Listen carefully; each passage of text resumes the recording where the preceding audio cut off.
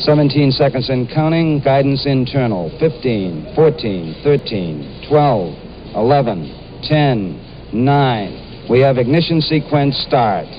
Engines on. 5, 4, 3, 2. All engines running. Launch commit.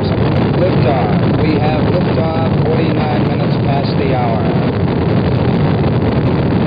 Savvy reports the clock has started. The tower is clear. Tom Stafford acknowledges the roll and pitch program to put Apollo 2 on the proper course. What a beautiful sight that is. Picture will break up a little bit because we are getting buffeted here now by the tremendous reverberations from that great engine. The building is shaking, the cameras are shaking.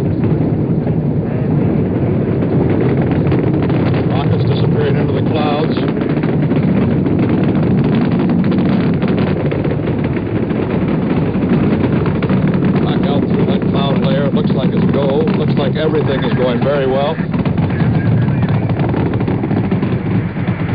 It's like a beauty so far. And the pressure is relieving. It's almost directly overhead here. Mile 3.3 nautical miles high. Voice you hear now is Jack Riley, Mission Control in Houston. What a ride, babe. What a ride. Ride. Sounds like Stafford saying, what a nice ride. Gene uh, Cernan reporting, what a ride.